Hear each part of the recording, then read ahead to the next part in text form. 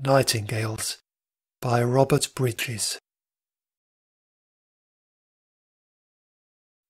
Beautiful must be the mountains whence ye come, and bright in the fruitful valleys the streams, wherefrom ye learn your song.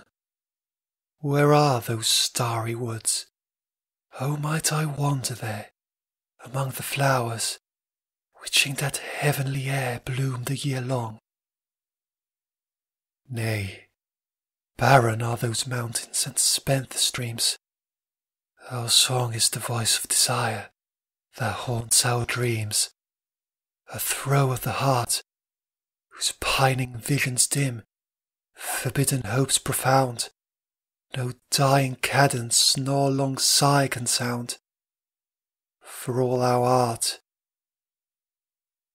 alone, aloud in the raptured ear of men, we pour our dark nocturnal secret, and then, as night is withdrawn from these sweet springing meads and bursting boughs of May, dream, the innumerable choir of day welcome the dawn.